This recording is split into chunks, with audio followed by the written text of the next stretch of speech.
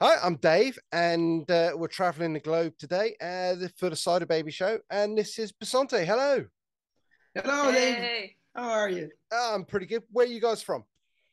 We are from Mexico, from Chiapas. It's in the deep south in Mexico. Deep south in Mexico. Yeah. Wow. Uh, tell me about Bisonte then. Well, yeah, Bisonte, it's a duo. It's only Paulina and I. Uh, we started playing in 2018, if I if I recall correctly.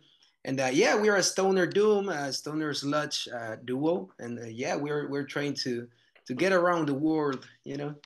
Yeah, well, that, that's the purpose of this. Uh, just trying to uh, broaden horizons. I mean, a lot of people in the UK probably may not have heard of you. So, um, where did you started not very long ago. Your stoner sludge. What what sort of inspirations did you have? What uh, what inspired you to uh, make Bisonte? Well, uh, mainly sleep, right? Yes, we started before as Dragonaut, like one right. of the sleep. Yeah, so it was our first name. So definitely sleep and those bands. Neurosis, um, uh, Weedeater, like who else? Uh, Cathedral for me, Electric Wizard, of yeah. course. Yeah. Wizard. yeah, so it was it was cool to to find mm-hmm. someone mm-hmm. that likes that kind of music because here is very difficult. Yes. So once we found each other, so we were mm-hmm. like, we need to make a band with this type of music. Is mm-hmm. it is it uh, difficult in Mexico to get bands together? Is it you know uh, just explain your scene around where you live now?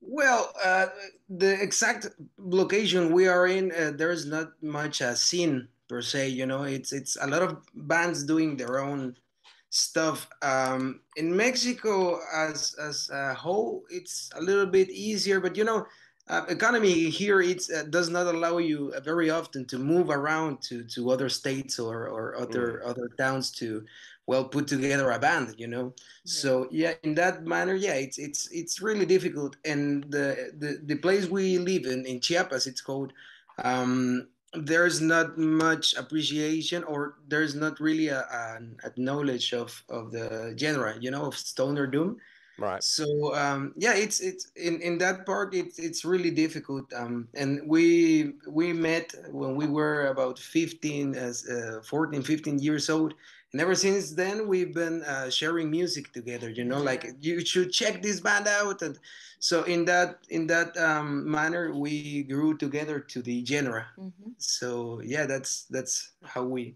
yeah. um, get to got get together. each other yeah get together but uh, yeah, yeah i mean I, I i know at least five more people in the whole state that like yeah. the the genre right and it's a big state uh. okay. Yeah, it's really sad, but yeah. Mm-hmm. So, um, you, have you got music out? Yeah, uh, uh, we are on Spotify. Spotify. Mm-hmm. We are on Bandcamp as well, in the YouTube. YouTube. Mm-hmm. Yeah. Yeah. Okay. So, uh, what have you got out? What have you put out? We have an EP. Uh, how many mm-hmm. songs? Six, Six songs. Six songs and yeah, we got it out in 2019 or 2020. 21? No, 21. 21. You know, one year. Wow. No. Pandemics. Yeah. yeah. Pandemics. I hear this all the time. Yeah. no, it was last year. Oh, it was last year. Yeah. It's, it's, it's a it year. feels like a long time. Yeah, so it was last year on April 28th. now I remember yeah. the exact date. April 28th of 2021 yeah yeah we we we got that released and uh, you know there was not much uh, uh, shows or or anything to do really so yeah it, it time goes by really quickly when you're in a pandemic yeah um so is it self-produced have you done all the work yourself or the musicianship uh, or the recording or the mm-hmm. yeah explain explain how you got the ep together yeah, well, uh, we put together a, a, home studio here in in our hometown, like what uh in 2018. Yeah. And uh, yeah, we we definitely did everything, you know, uh, from songwriting to uh, lyrics, everything, and the recording as well, the mixing, the the uh, fake mastering. You know, that's not a proper mastering work, but uh, uh, we, we tried. Yeah, we tried. you know, even, that, even the artwork. Mario mm-hmm. did the mm-hmm. artwork of the album, and the only thing that we did, like, not us, mm-hmm. like we paid for that. It was the photos yeah and like the production of the city you know, yeah like. yeah it was almost completely diy but you know i don't know how to burn cds these millennials right oh, oh.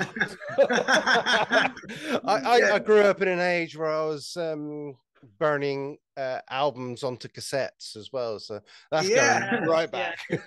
we don't know how to do that. oh, kids these days, right? Kids oh, kids these days.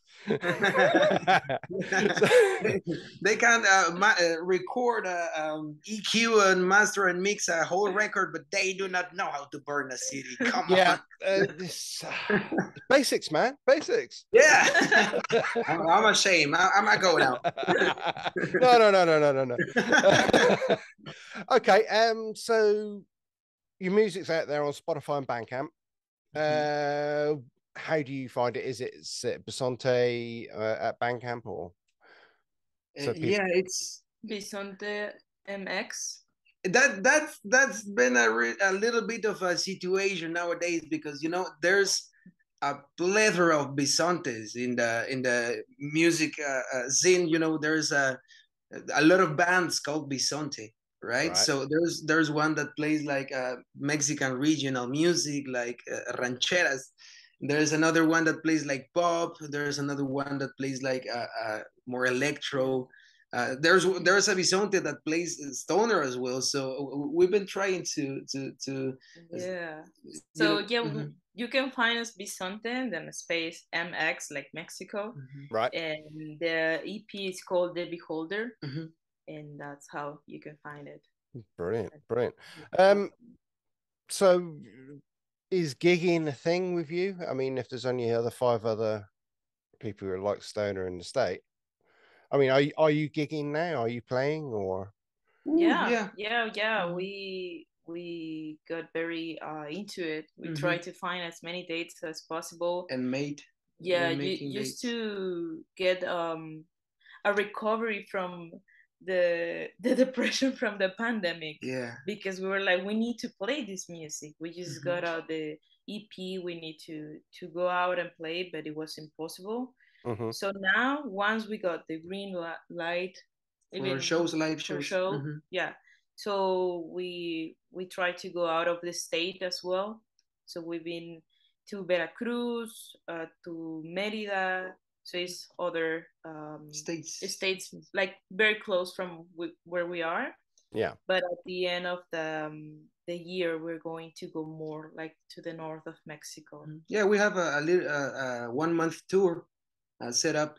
Yeah. It's it's it's gonna be great. Yeah but yeah, yeah we, we're trying to gig as much as we can and um, if they you know if you cannot go to the mountain to the mountain bring the mountain to you, right? Yeah. So yeah. we are trying to make uh, gigs as well.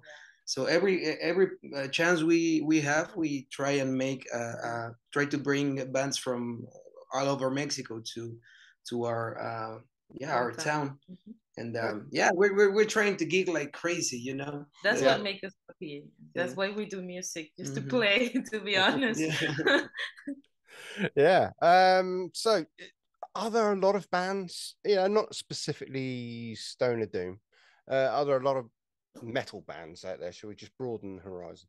Are there a lot of metal bands around that you know yeah. are gigging in Mexico? What uh, bands that we haven't heard of in this country? So, Oof, well, Stoner Doom. There's a lot of bands that are doing yes. a lot of things. Uh, there, there's one Electric Code, uh, Three Demons. It's yeah. Um, was really really good bands. It's another one. It's Cactus Rojo. It's uh, red. Uh, yes. There's they are stoner. Mm-hmm. Uh, but yeah, there's plenty of and bands. yeah, and metal as well. You know, there's a lot of death metal, a lot of yeah. thrash metal, a lot of um, what else? Black metal. Black metal. That's there's, here in our in our uh, state. There's a kind of like very strong mm-hmm. scene of black metal. Yeah and they kick ass. They kick ass, yeah. they, they, know their shit. You know? Yeah. yeah, yeah. Ah, yeah. Mm-hmm. yeah. Yeah, but but yes, there's you know pandemics, right? Everyone is trying to to go out in the world and and, and do their stuff. So yeah, there's a lot of bands uh, uh, mm. doing all the work. Mm-hmm. Okay. Um. So moving on from that, uh, what are your plans going forward? We got gigs.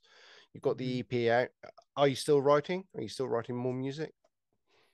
Yeah, yeah, yeah, we have an EP coming. We are trying to release that next year. Yes. And um, we we have the songs. Yeah, we ha- we have the songs. I think we we want to just another EP, not an album. But I mean, I don't know. Maybe we can complete the songs for an album. But yes, this year we're going to start like demos and mm-hmm. just ideas. Tracking. Get, yeah, just get the ideas together and hopefully next year a new EP and mm-hmm. more shows. Mm-hmm. And hopefully we can just travel like out of this the country. Out of the country. we we have some connections in Canada. For, oh, yeah. for instance, uh, we, we, are we've been trying to get there since the freaking before the uh, pandemic. COVID, yeah. but uh, yeah, times are hard. You know, there's there's the economy is it's mm. crazy bad right now in, in in Mexico. So yeah, we're we're trying to um to find a way to get there you know so we are going to you we, we don't know when but we are yeah. yeah. well i can tell you got the determination there so uh, you, you'll do it i think I, I, I have faith in that um yeah. okay so going back to the music you have out if you have one song that says this is us this is Bisonte as we are uh what song would it be stampede? From us a stampede. That's yeah. like our song that define us the mm-hmm. most. And i think was the song that we wrote very natural. Yeah. And it sounds stampede well no there's another song that sounds like yeah like sleep like yeah. the band sleep like Dragonaut. So those two songs i think and we kind of find that sleep mm-hmm. and that song are like together. Yeah, yeah. so yeah, I yeah. think that's Bisonte, you know. Yeah, yeah. We we, we took uh, our roots in Stoner Doom and, and all of the, those bands, right? But I think yeah, those two. Uh, it's called Strain and Stampede, and those yeah. two are yeah. It's in a nutshell. Those were uh, the first kind of the first songs we did. Yeah and uh, they came out just naturally, just like a, a fucking uh, scream of "I need to do this right now." Yeah. Yeah. Yeah. So where where are you getting your inspiration for your writing from as well? Well, that's that's a difficult one. Inspiration, yeah, mostly uh, that band uh, Sleep, um, Weedeater. But but the more music we do, the more we get reference in ourselves. I I think you know we we try to look at what we have done and and and mm. try to work around that uh, but i can say that well reference maybe pantera it's it's one yeah. big reference for me in the guitar playing not not in the soloing but in the riffing you know yeah because yeah. it's only the, the, two of us uh, uh, yeah I, I cannot and like more on the songwriting part mario is the one that writes all the songs okay so he when i talk to him and he tries to explain what mm-hmm. what's the meaning because for me it's important to know the meaning so i can yeah. i know how to play and what to do mm-hmm. he's very like spiritual he tries to connect the dots with the meaning of what does the um, animal bison means to the native americans so he mm-hmm. tries to to dig into that and get all those dots connected and they get a really cool meaning. Mm-hmm. We have one song that is called Hawk, and it's like a relation between a mother. Uh, it's in what's like I don't remember. It's a song about vengeance. It's a, a freaking snake comes and eats the babies of a hawk, a, a mother hawk, yeah. and it's like this um, story of of violence and vengeance and and trying to seek for uh, yeah. justice yeah i mean I, I i i always struggle with writing lyrics mm. so I, I always try to come out of the box, you know, uh, uh, out of uh, the the typical rage, the typical uh, government, uh, or or um, or love or hate. It's I, I try to do something more like um, ethereal or or, mm. or magical. I don't know. It's it's it's it's really difficult. I still haven't find, found my uh, uh, my inspirations or, or my workflow in, in lyric writing, but getting there. Yes, it's growing organically. So I suppose the more yeah. the yeah. more you write, the more yeah easily it will come together and yeah. Okay. Um. So apart from world domination on the uh, music front, yeah. What what else are you guys up to? I mean, you know, what's your normal day to day lives? Well, we we both were working at a, a call center, you know, as an, as interpreters. Uh, yeah. I, I got freaking fired, and now I'm having an existential crisis. uh, yeah, I, I, I, I'll, I'll mop your floors for you, man. I, I don't care. I need money. so, but uh, we have the recording studio, and and we are trying to um to uh, activate that as well. You know, um, I, I do a little bit of graphic design too. I'm trying to be a jack of all trades, you know, a, mm. a little bit of uh, inter- entrepreneur or, or, or something. And well, oh, it's a yes, I'm a I'm mm-hmm. an interpreter. Like uh, that's my main job. I study music, so I try to get uh, on the drums as much as possible to to not lose that. Uh, but yeah, I get the money from the interpretation, yeah. and yeah, I like to swim a lot.